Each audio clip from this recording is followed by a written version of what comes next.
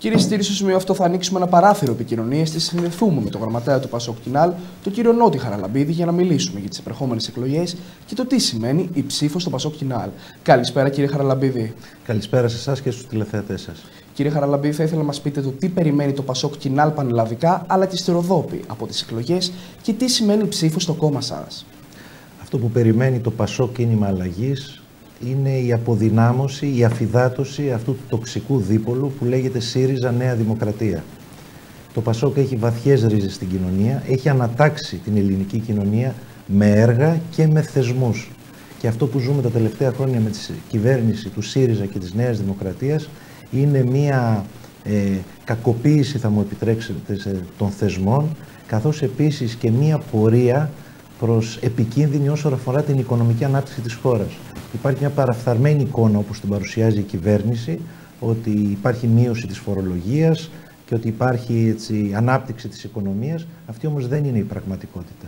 Η πραγματικότητα είναι ότι μπορεί να υπάρχει μια μείωση της φορολογίας, αλλά οι έμεση φόροι έχουν φτάσει σε δυσβάστακτα πλέον έτσι, κατάσταση την ελληνική, τις ελληνικές οικογένειες. Επίσης υπάρχει μία με τις υποκλοπές και με τον τρόπο τον οποίο λειτουργεί η κυβέρνηση, η οποία λειτουργεί όχι σαν επιτελικό κράτος, αλλά σαν κράτος παρέα, σαν μια κυβέρνηση όχι των αρίστων, μια κυβέρνηση των μετρίων, βλέπουμε ότι οδηγούμαστε σε ατραπούς που θυμίζουν το 2009, όταν παραλάβαμε την κυβέρνηση από τον κύριο Καραμαλή. Ε, αυτό όσον αφορά τη Νέα Δημοκρατία. Και όσον αφορά το ΣΥΡΙΖΑ, το ΣΥΡΙΖΑ είναι μια λαϊκιστική έτσι, ε, κυβέρνηση με λαϊκιστικό τρόπο, μιλώντας αριστερά, αλλά πράττοντας δεξιά. Δεν έχει καμία σχέση με αυτό που λέμε δημοκρατικό κεντροαριστερό χώρο. Αυτό λοιπόν, όπως με ρωτήσατε που θέλει το Πασόκ, είναι ο κόσμος αυτός να γυρίσει στο σπίτι του. Ο δημοκρατικός κόσμος της Ροδόπης να ξαναπεψηφίσει το Πασόκ κίνημα αλλαγής. Κύριε Χαραλαμπίδη, τι θεωρείτε ότι θα καταφέρει το Πασόκ και άλλες εκλογές σε τοπικό επίπεδο και πώς βλέπετε το ψηφοδέλτιο της Ροδόπης; Το θεωρείτε εσείς ο ίδιος ένα ανταγωνιστικό ψηφοδέλτιο; Εγώ θεωρώ ότι αυτή τη στιγμή στο νομό Ροδόπης το Πασόκ έχει το πιο ανταγωνιστικό ψηφοδέλτιο. Το Πασόκ, ε, ο νομός, όπως θα θυμούνται και οι τηλεθεατές στα παλιά χρόνια, παλαιότερες δεκαετίες, όταν βγαίναν τα αποτελέσματα, ε, βαφόταν πράσινος. Αυτό θέλουμε κι εμείς. Θέλουμε όλοι αυτοί οι ψηφοφόροι που προέρχονται από το Πασόκ, που έζησαν έργα και θεσμούς τους οποίους έθεσε το Πασό και σήμερα θεωρούμε αυτονόητους και τους βλέπουμε να πλήττονται από την κυβέρνηση της Νέας Δημοκρατίας, θεωρούμε ότι όλοι αυτοί οι ψηφοφόροι θα γυρίσουν και θα ξανατιμήσουν με την ψήφο τους το Πασό κίνημα αλλαγής. Το, το ψηφοδέλτιο του Πασόκ είναι στην περιοχή μας, όπως σας είπα, είναι το πιο ανταγωνιστικό, έχει πέντε δυνατούς υποψήφιους, οι οποίοι νομίζω ότι ακούγονται από την τοπική κοινωνία και αυτό θα αποτυπωθεί και στο αποτέλεσμα και στην κάλπη την Κυριακή.